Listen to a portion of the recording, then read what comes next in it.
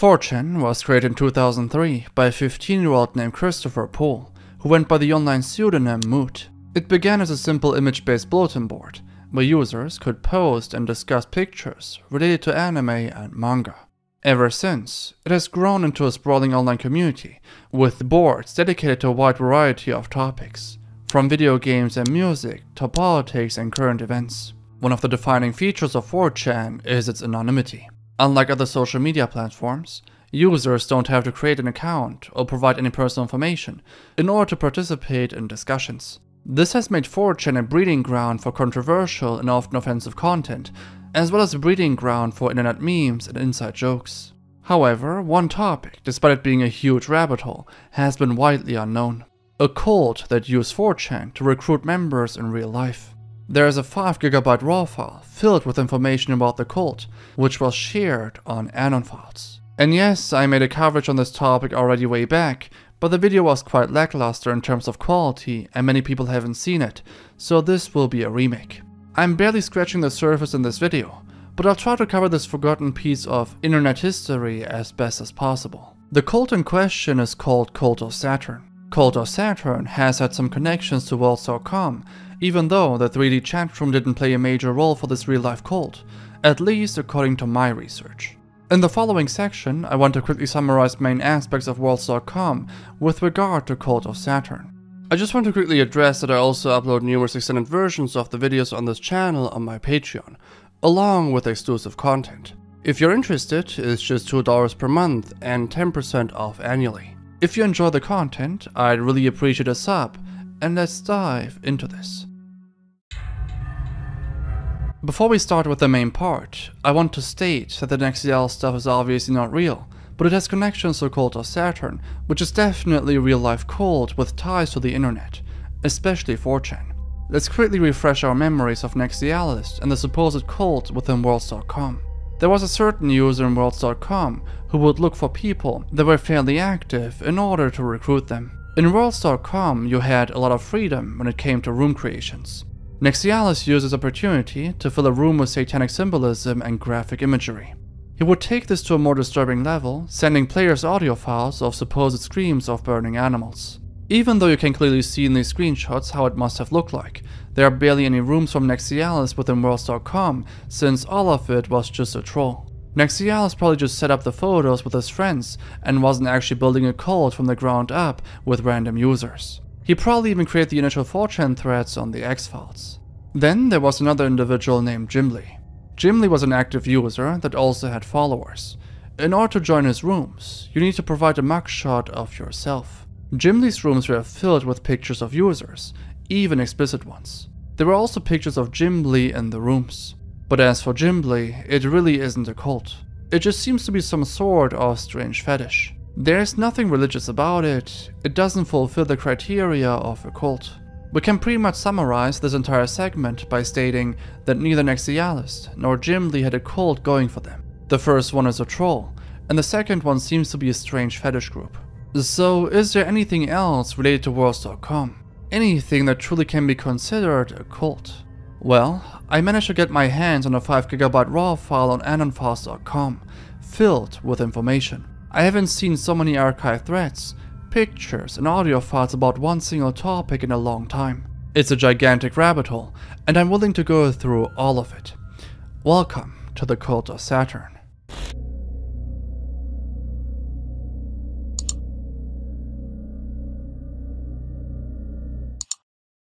Yeah. Yeah.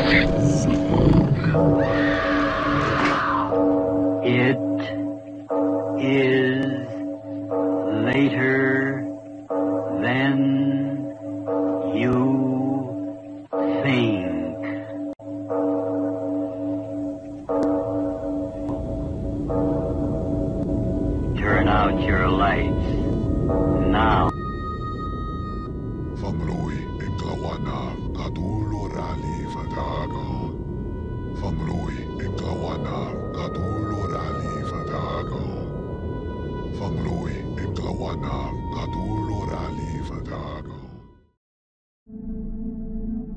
Since we're dealing with the biggest rabbit hole there is, it actually should be pretty easy to find out when it started. A lot of people claim to know how it all started, but with the given information I gathered, this cult didn't even start on the internet.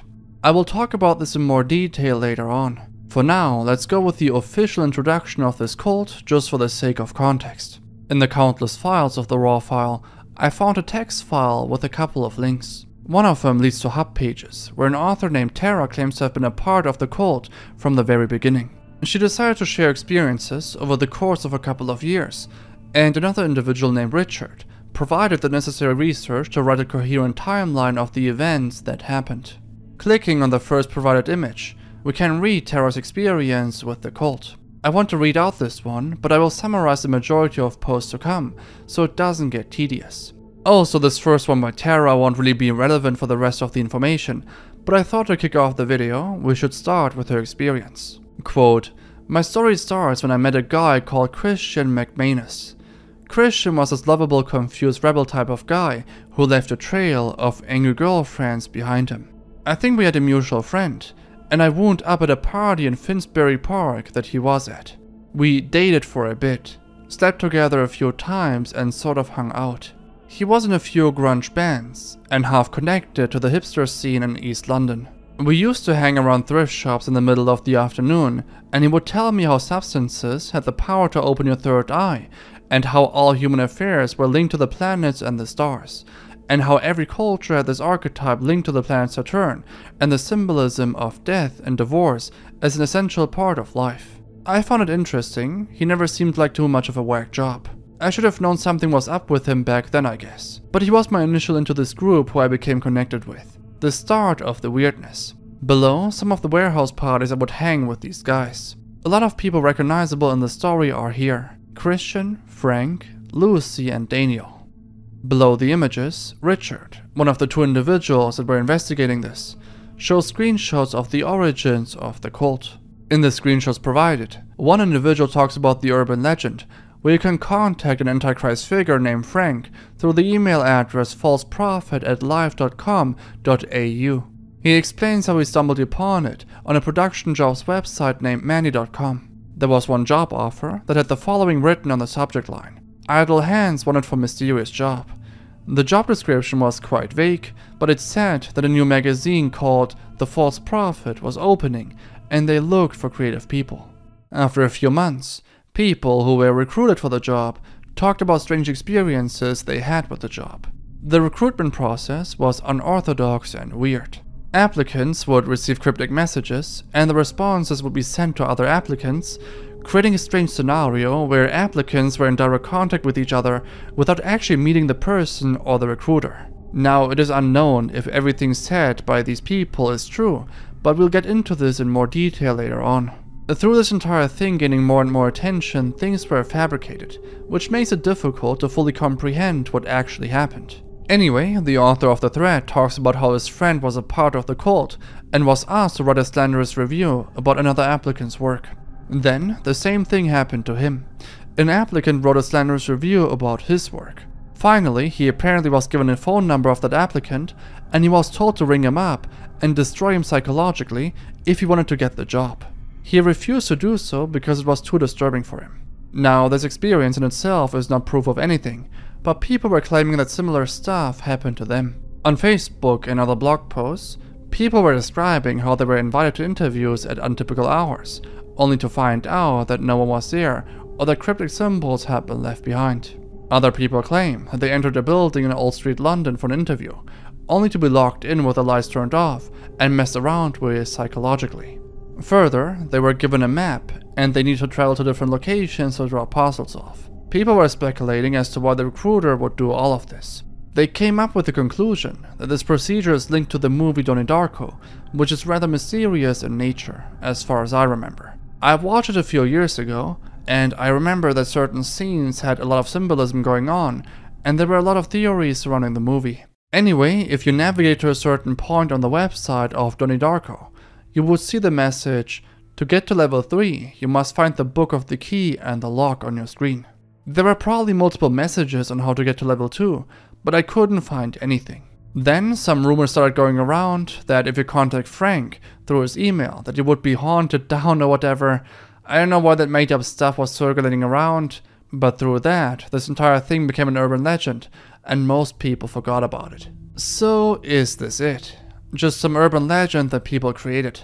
Well, I wouldn't make a video if it was this lame, and I would certainly not waste multiple weeks of research and investigation. There's more. There's actually way more.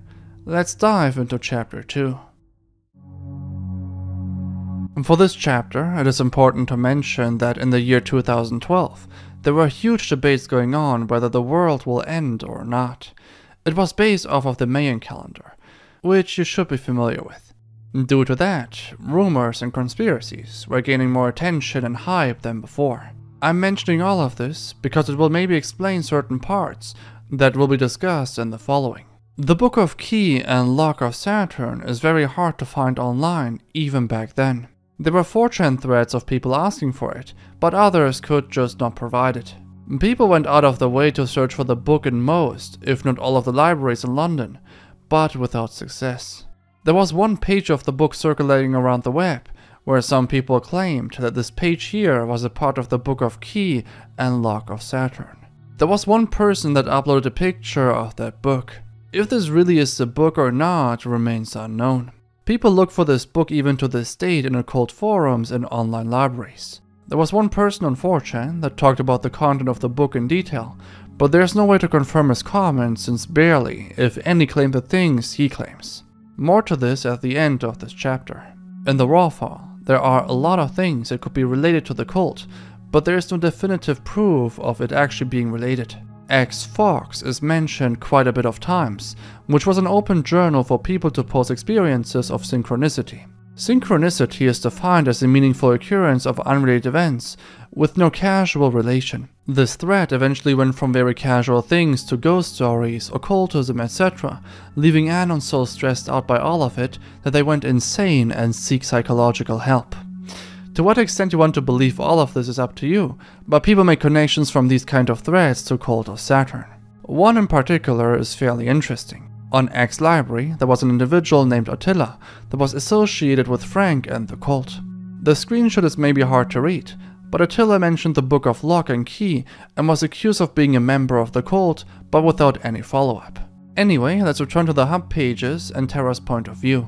In one image post, she talks about her first encounter with Frank. She was a part of a small group of people who were performing occultism, and she eventually realized that she is a part of a cult. An individual named Lucy introduced Tara to Frank Webster. Frank made a sociopathic impression to her, and she also realized that Lucy was worshipping Frank. Frank was everything for Lucy. Lucy was also the first person that planned to take this cult online with viral marketing.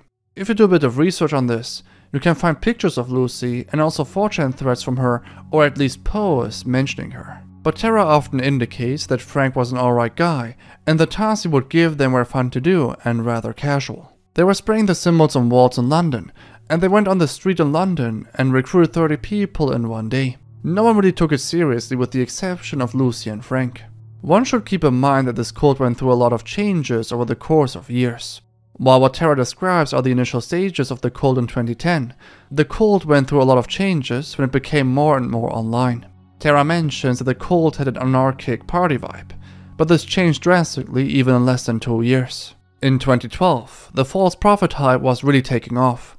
This must have been at the time when Frank and Lucy were doing their biggest viral promotions. You could find multiple forum posts in different languages talking about the websites. To spice things up, there was a countdown on the 21st of December 2012 from all over the world. The countdown was somehow connected to the idle hands. So this countdown served as a big recruiting chance for the cult, building up enough hype with the countdown, and in the end, people getting recruited. It's certainly a brilliant marketing scheme. People nowadays don't even put in that much amount of effort into their ARGs, which is quite a shame to be honest. Tara goes more into detail about the cult members and the cult itself. She talks about how it all started out as an ironic and fun group, but it always was spiritual. They talked about geometry, the flower of life, Greek gods, and Saturnalia. She also claims to have eavesdropped a conversation from Frank and Lucy, where they were having a very serious conversation about how they could open portals, and saying other cryptic stuff. The cult also got way more serious around this time. The cult would take over a couple of warehouses, and would have guards and passwords to avoid intruders. The priorities within the cult also shifted, and Lucy started to create an ARG online.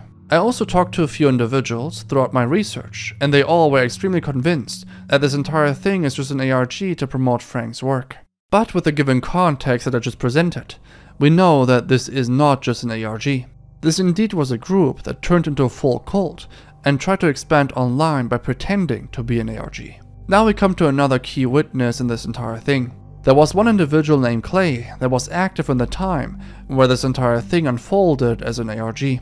As you can see in the screenshots, he talks about how he and other people on the X-Files encountered the job ad that I mentioned in the beginning, and how Frank gave them riddles, cryptic messages, and instructions to do and solve. Here you can see the instructions and some of the symbols that people need to paint in various places. Here's even one example how it looked like in real life. Anyway, this happening on 4chan obviously caused some trolls to come out and meme the entire thing and screw with Frank, but we'll get into this in the next chapter. Clay got into contact with someone named Rabbit, who provided him with details and information about the book being real. Clay goes further and talks about how he got into contact with someone named the other Lone Gunman, who tried to expose the cult's activities, but then mysteriously disappeared.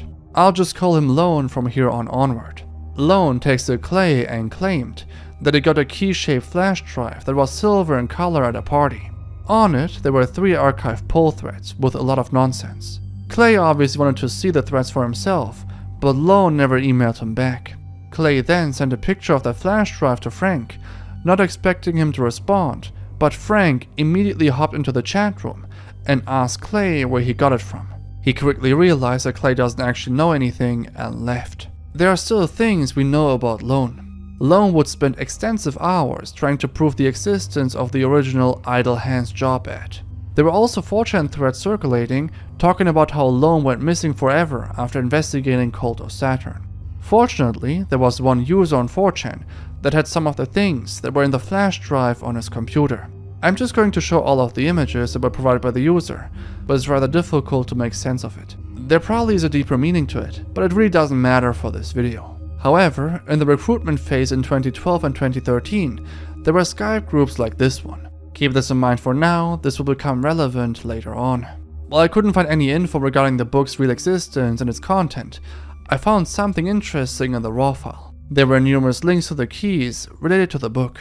There was key number 1, key number 2, key number 2.5, key 3, key 4, and the last key named Stairway to Heaven. There's also one last link named You're in Hell. If you try to go on the websites, it will tell you that the content is either missing or that you don't have the permission to see it. I made an account on the website so I could sign in and have a look for myself. The website overall just seems to be a forum for alchemy and occult stuff. Nevertheless, there were things related to the Book of Key and Lock, and people were discussing it. I managed to find the one and only thread on the forum where this is even discussed to this date, which extremely surprised me because the cult vanished since 2012. Anyway, the thread contained the content of the first key, which were multiple riddles and questions. The user that wrote the post refers to other threads, which I didn't have access to or which I simply couldn't find. But this just goes to show that all of the keys most likely contain riddles and questions that would eventually lead to the two last keys. The Stairway to Heaven and You're in Hell. What actually happens when you reach the two last keys is unknown, since no one made it that far. I want to conclude this segment by stating that this thread is pretty much the only information we have regarding the Book of Key and Lock. The other keys may also be on the forum, but I was unable to find them. Interestingly enough, there's another cult tied into this. A cult strongly related, if not even the opposition of Cult of Saturn. To call the cult very unique would be an understatement. The cult is called the Cult of Mars. This will only be a very short chapter, since there isn't a lot of information on this, but it is still relevant for this topic. Well, there's actually another group tied into this. They called themselves the Cult of Mars. They popped up in 2013 and were active mainly on 4chan. They would make a wanted poster of Frank Webster, create a card for him and their own cult leader named Marzipan, and even went so far to create this introductory page of Frank to just make fun of him. But there's not a whole lot more about this group. This pretty much happened in the time where Cult of Saturn almost disappeared. Cult of Mars was pretty much the finishing blow, so to say. Well, what happened to Cult of Saturn after 2013? Did they vanish, or did they just move on? Well, this is where Worlds.com gets interesting. I mentioned Worlds.com in the beginning already, and how it is tied with Cult of Saturn in one way or another. Archives of 4chan threads exist, where people claim to have messaged Nexialis to find White Rabbit, which was one of the few ARG elements of Cult of Saturn. Nexialis then told the user to check out a precise location, which I don't have any access to, since I cannot click on the picture that is provided within the archive, but this definitely seems very interesting. The location seems to be somewhere within Worlds.com. With this knowledge, we pretty much now know that Cult of Saturn most likely also had rooms in Worlds.com, which may be comparable to the ones that Nexialis had, or at least claims to had. Clay once more posted a 4chan thread which contained the current location of the cult back then. I'm sorry for the resolution on a lot of these screenshots, but I can only work with what was provided. I'll go ahead and read the entire thing out, because it is very important to the things that follow. Quote, have you guys played that weird Worlds game yet? I'm not too familiar, but I have a bit of a story to tell about my experience with it. If any of you remember me, you'll know that I nearly went insane on a search for this mysterious book, known as the Book of Key and Lock, and how it was tied to this weird cult called the Cult of Saturn. They worship a black cube or something. It really freaked me out. This cult has started a few threads here on X. Well, in one of the threads, this cube thing the members of the cult were making had a picture of the book and then the word Nexialis under it. Curious, I decided to Google the word and it's a user on the game. There are a few other folks who are searching for this book with me, and they claim that this user seems familiar with the book. If you're interested in helping me discover a rare and hidden book of the occult that holds secrets to alchemy, demonology, and secrets of the universe, then help me on my quest and try to harass this Nexialis player. Find out what he knows. We can't let this chance pass us by. If I've piqued your interest, but you have no idea what I'm talking about, keep this post alive. I'll give a more thorough explanation of the book and my troubles that I've had searching for it, along with everything else I know about. The book has some weird rituals that have been the cause of some big events and could end up causing the big event. Stick around, things are going to get interesting in this thread.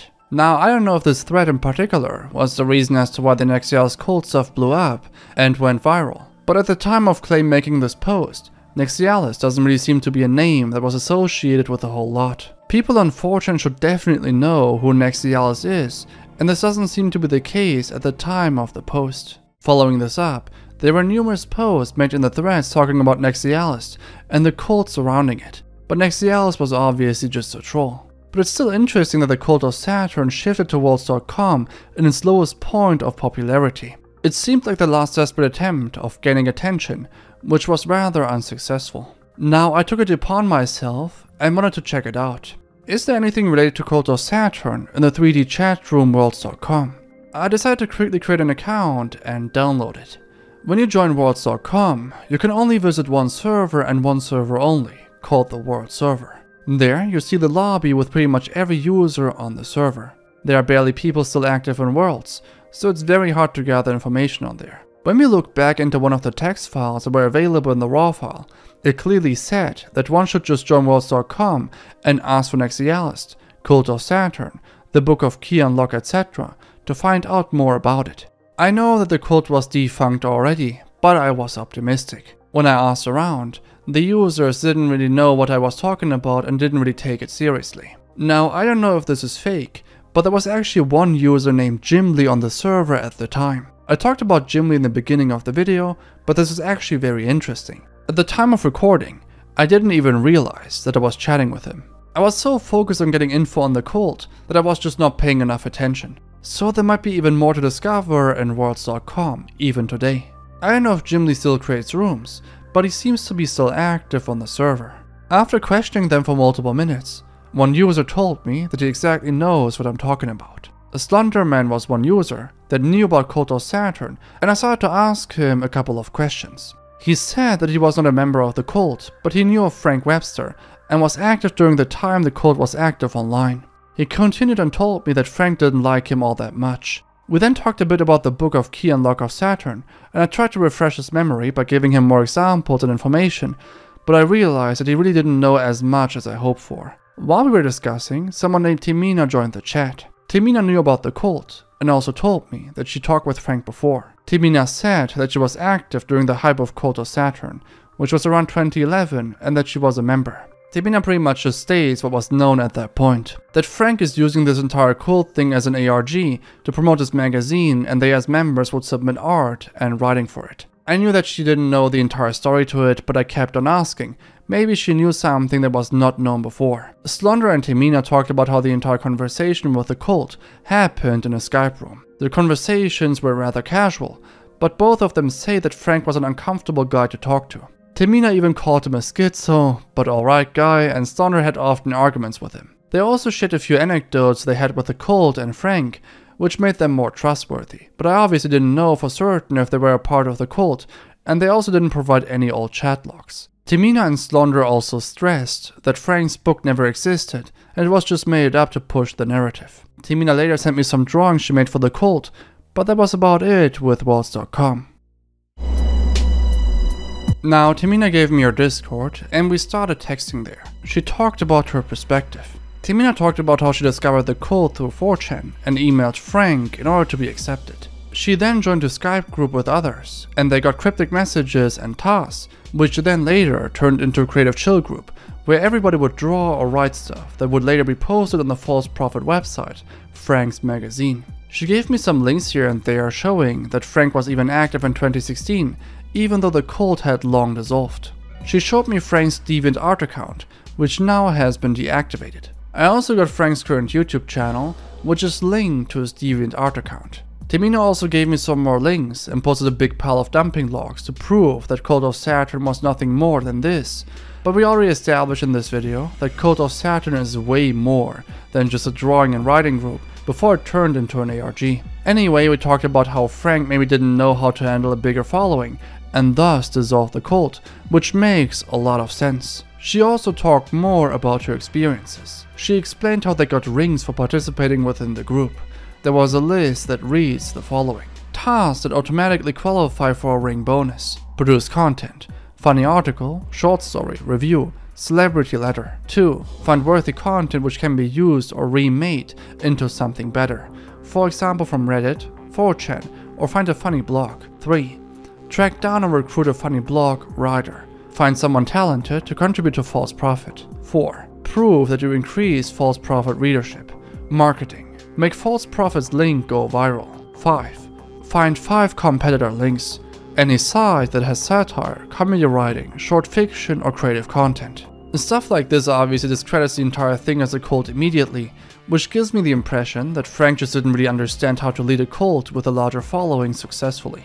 All in all, through Timina and Slenderman, we got a different perspective to this entire topic. We got the perspective of the people that stumbled across this cult, what was seemingly only an ARG, and this greatly differs from Tara's and Rich's narrative. This information that I gather through research and interviewing former cult members helps us to understand how Frank functioned and worked as a cult leader, and allows us to see this topic in a bigger frame.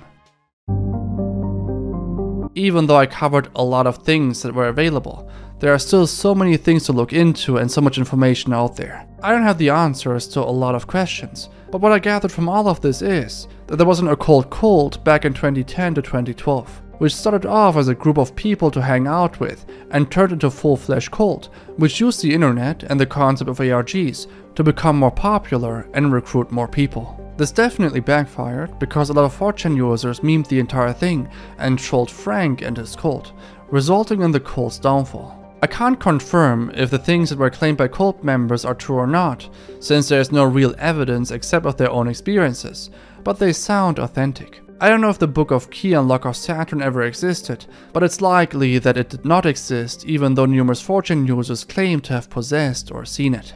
Overall, Cult of Saturn is a piece of internet history that was forgotten for the most part, even though it is certainly the biggest rabbit hole on the internet I know of.